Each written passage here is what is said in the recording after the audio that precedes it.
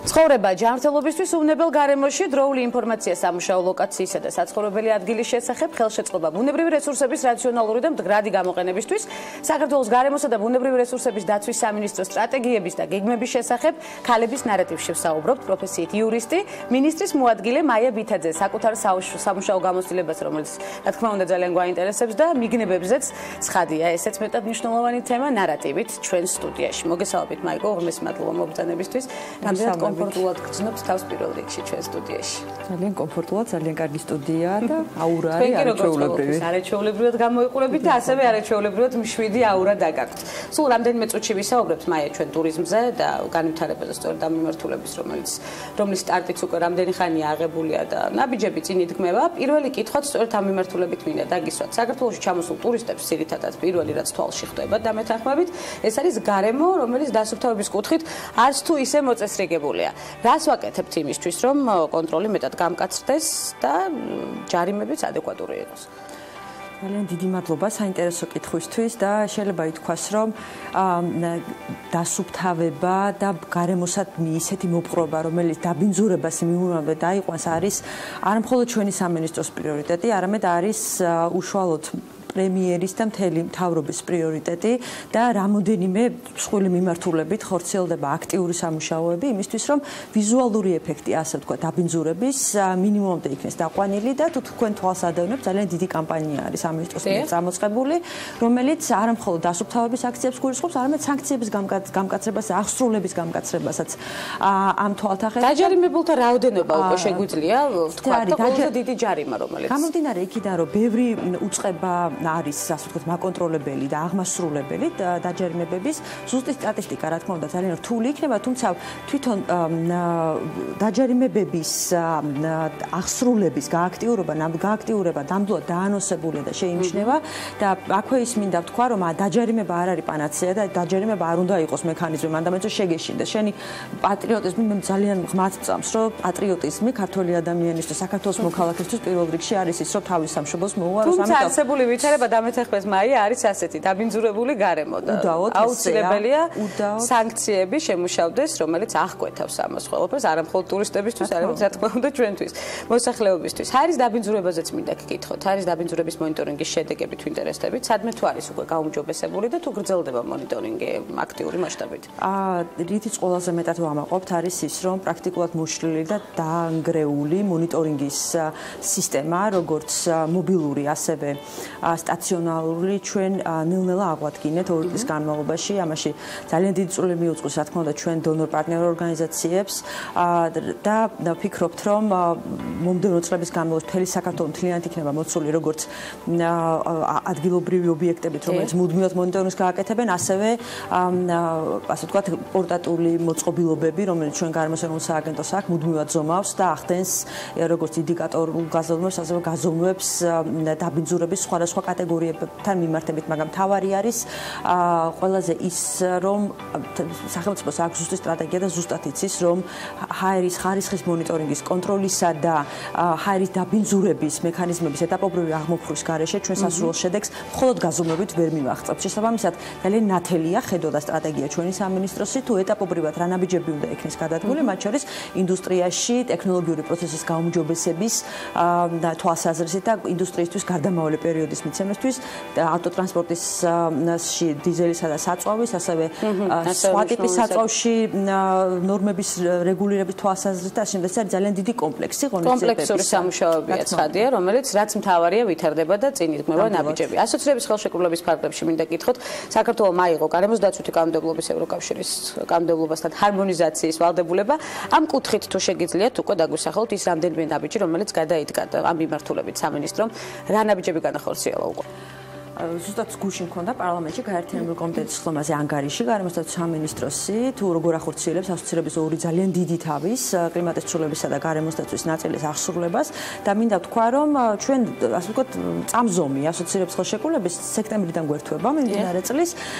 თუმცა წისწრებით მარჩენების მართვის კოდექსი რომელიც საერთოდ სიახლე იყო ჩვენ კანონმდებლობას ჩვენ უკვე შესრულებული გვაქვს გენმოდიფიცირებული ორგანიზმების მართვის შესახებ კანონები უთულა რადიაციული საფრთხეების კანონმდებლობა ფსიქოლოგის მოწესრიგება რადიაციული ნარჩენების ჩათვლით.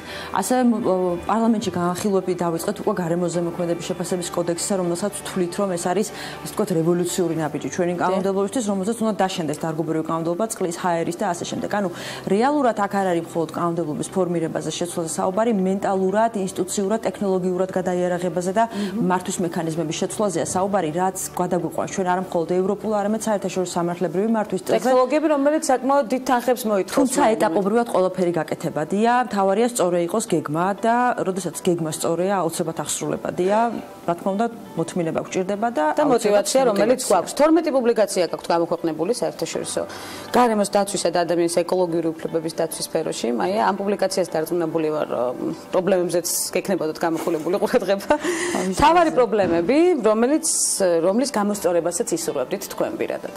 შეიძლება ითქვას რომ მე ცოტა ოცნება ამიხდა იმიტომ რომ გარდა იმისა რომ ვარ ორჰუსის კონვენციის ასე ვთქვათ ბიუროს თავმჯდომარე უკვე მესამე წელია.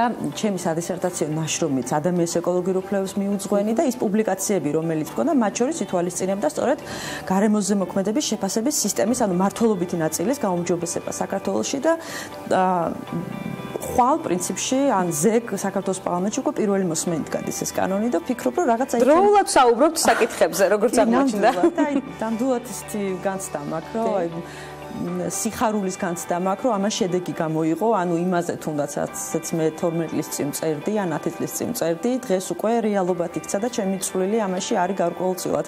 ცირედი, რა თქმა უნდა, ჩემ გუნდთან და სამინისტროსთან ერთად, თუმცა მაინც ძალიან დიდი სიამოვნების მომგვრელი. გაგრძელდება ეს აქტივობა თქვენი მხრიდან დარწმუნებული ვარ, მოდი გადავიდეთ უკვე ლოგიკურად თქვენზე, რაც ძალიან გვაინტერესებს, მაია ბითაძე სამსახურში უკვე. რომელ საათზე მიდის და მთავარი განსხვავება, დავარქვათ ასე, კერძო და სახელმწიფო სექტორს შორის თქვენთვის პირადად რა არის განმასხვავებელი? გამომდინარე იქიდან, რომ კერძო სექტორში არასდროს მიმუშავია, 98 წლიდან გარემოს დაცვის სისტემაში მუშაობ, როგორც საქართველოს პარლამენტში, ასევე სამინისტროში, ასევე ძალიან ბევრ პროექტში მიმუშავია პარალელურად, როგორც იურისტ ექსპერტს გარემოს დაცვის სფეროში.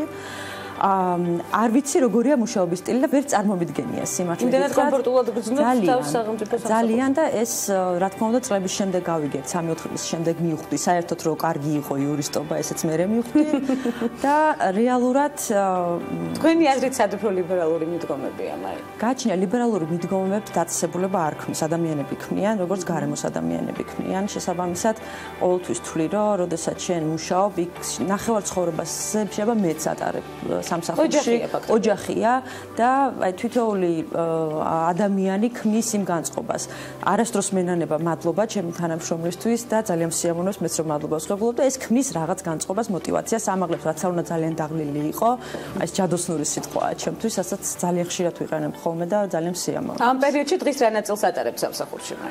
აა სამსახურში, რა ვიცი, ვატარებ ბევრს, ძალიან ბევრს, ძალიან ბევრს. ოჯახის წევრებს არ აქვს პრეტენზია იმაზე, რომ ნიშნეთად ხედავენ, თან როცა ორი შვილი ყავთ, განსაკუთრებით მეტი ყურადღების გადანაწილება გჭირდებათ. როგორია თქვენი time management?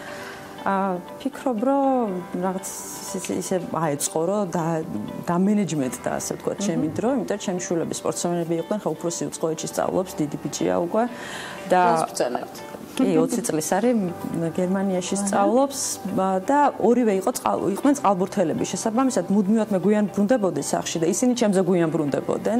ჩემი მეუღლე ჩემზე გვიან ბრუნდება ასე რომ ყველას გონია რომ მე მუდმივად სახში ვარ ასე რომ ეს პრობლემა არ შექმნილა დღემდე.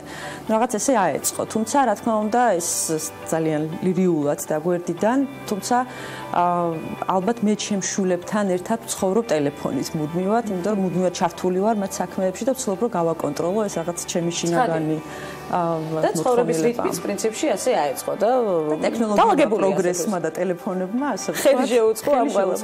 პროფესიით ხართ იურისტი ახსენეთ თავადაც და მეც დიალოგის დასაწყისში, თუმცა დღეს სრულად სხვა მიმართულებით მუშაობთ. რატომ და რომელი იქნება შემდეგი პროფესიული არჩევანი თუ გიფიქრიათ ამაზე? ვერ ვიტყვი რომ სხვა მიმართულებით მუშაობ, მინისტრის მოადგილე ვარ, ვარ კურატორი, ასე ვთქვათ, იურიდიული დეპარტამენტის და ვარ საპარლამენტო მდივანი, ანუ კანონშემოქმედებით საქმიანობაში ჩემი მუშაობა არ წყდება, ანუ ეს მუდმივი პროცესი არის, რაც ძალიან სიამოვნებს. აა შესაბამისად, სიმართლე გითხრათ, ვერც წარ, რა თქმა უნდა, მენეჯერის თანამდებობაზე, ანუ ესეც არის გარკვეულწილად როგორც აღმოჩნდა, რაღაც ჩემი უნარჩვევების ნაწილი, თუმცა სამართალი და ნორმა შემოქმედება შეიძლება სხვისთვის უცხოთ და უცნაურად ჭერდეს, მაგრამ ჩემთვის გარკვეულწილად განტოლების ამოხსნას გავს და როდესაც რაღაც საკითხია გადასაჭრელეს, კუბიკები აეწყობა ხოლმე და გადაჭრის გზას მალე პოულობ ეს ძალიან დიდ სიამოვნებას ფულს შესაბამისად ძალიან რთულად წარმომიდგენია ჩემი თავი რაღაც სხვა დაწესებულებაში, რომელსაც მართლობასთან, ინსტიტუციურ რეფორმებთან და სამართალთან კავშირი არ ქონდა. საოცნებო პროფესია გქონდათ ბავშვობაში, იურისტობაზე უცნებობდით? სხვათა შორის არ გქონდა. არ არ არ მიფიქრია იურისტობაზე, თუმცა ვაპირებდი ხელმოწოდნეობაზე ჩაბარებას და ვემზადებოდი კიდევაც ძალიან გატაცებული ვიყავი, მაგრამ რაღაც რაღაც გარემოებების გამო გადაწყდა რომ საერთაშორისო სამართლის ფაკულტეტზე უნდა ჩამებარებინა. სწორი მიმართულებაც აგირჩევიათ. სწორი მიმართულებაც ამირჩევია როგორც აღმოჩნდა. სირთულის დროს როგორ იმხდარებთ თავს მაი? წინაღობები, როდესაც ყოველთვის მუდმივად არის, როგორც რა ვიცი, ოჯახიდან სამსახურში, სამსახურიდან ოჯახში მუდმივად. აქტიური ხალის თამდევი ნაწილია. უნებრივია და ცხოვრების ნაწილი ალბათ უინტერესო იქნებოდა ცხოვრება წინაღობების გარეშე. მასაც დავაკვირდით ჩემ თავს ამწყების განმავლობაში წინაღობა უფრო მეტად მიჩენს სურვილს, რომ რაღაც საკითხი გადავლახო და ის გეგმა, ასე ვთქვათ, ოღონდ სწორი აბსოლუტურად და სამართლიანი, რომელიც დასახული მაქვს, ამ გეგმას მივახციო, ეს გეგმა განვახორციელო და ფრაზა თუ გაქვთ აკვიეტებული, რომლითაც თავს იმხნევებთ და სხვებს ამხნევებთ. ძალიან საინტერესოა ამ ფრაზების შეგროვება დავიწყე ქალების ნარატივში და მაინტერესებს თქვენ შეგროვება, ანუ ფრაზა რომელიც მომხნევებს არა, მაგრამ ფრაზები მაქვს, რომელიც დაუშვათ შავფერებში დახატავს პრობლემას, რომელიც უნდა გადაუჭრა და ეს ამ ბოლო დროს დააფიქსირეს ჩემო მეგობრებთან და თანამშრომლობა კატასტროფას ხმარობ ძალიან ხშირად და სიტყვა ჯადოს ხმარობ თუ რაღაც არ მომწონს კანონზე. შორს ჩვენგან კანონზე მithkoms რომ ჯადო კანონია და მე ძალიან დამცინია ხოლმე და მე ხუმრებიან ამ თემაზე. გუნდური პრინციპით მუშაობა ხუმრობით და ხალისით და აუცილებლად უკვე მიღწეული მრავალი წარმატება და კიდევ მრავალი წარმატების გზა, რომელსაც აუცილებლად განვიხილავთ ქალების ნარატივში. უღრმესი მადლობა მინდა გადაგიხადოთ. დიდი მადლობა. მოგზანებისთვის და ძალიან საინტერესო საკითხებზე საუბრისთვის და დიალოგისთვის. პირობას ვიტოვებთ, რომ კლავ შევხვდებით ერთმანეთს ჩვენ სტუდიაში. თუ რა თქმა უნდა, კომფორტულად იგრძენით თავი. ძალიან დიდი მადლობა, ძალიან კომფორტულად ვიგრძენით თავი. უღრმესი მადლობა, მაია ბითაძე იყო ჩვენი სტუმარი, ჩვენ მცირე სარეკლამო ბლოკის შემდეგ მორიგ საინტერესო სტუმართან ერთად ბრუნდებით და გველოთით.